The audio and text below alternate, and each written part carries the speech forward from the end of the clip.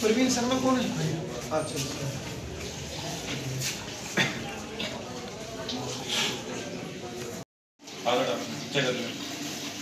कैसे?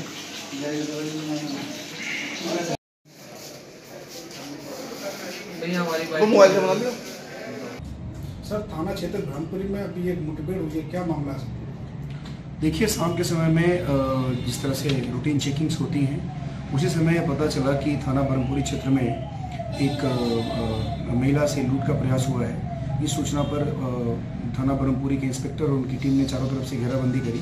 उस घेराबंदी में एक सरस्वती लोक एरिया है, वहाँ पे एक बदमाश वाइट अपाची पे था, जिसने पुलिस पार्टी को देख करके फायरिंग शुरू की।